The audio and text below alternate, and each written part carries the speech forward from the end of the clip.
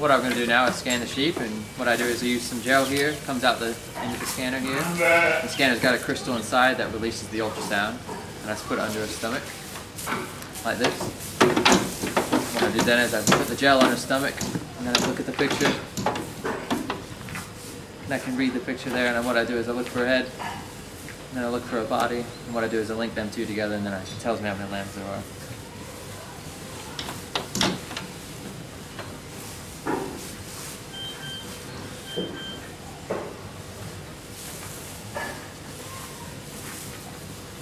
How many babies is this? It's having twins.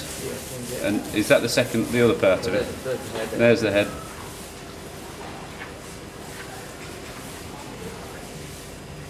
There's the head there. And it curling round to the body. They're both in the same sack, this one. Right. So you see the head there. And if I go back a little bit, another head. Yeah. Head there. One there. One there. Those two. Is that right? Yeah.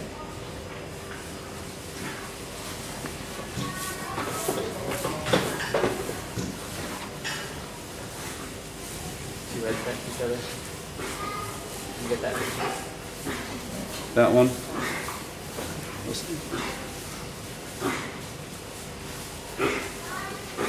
See, that's the neck. There's the body there, linked to the head. The Rib- body there, the Yeah. head. Was that the rib cage as Yeah, well? so there, and then it goes down to the bottom, back to the head. So Yeah.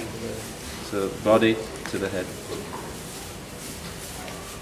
That's the other one. Head. Yeah. This body there, right there. Round there. Yeah.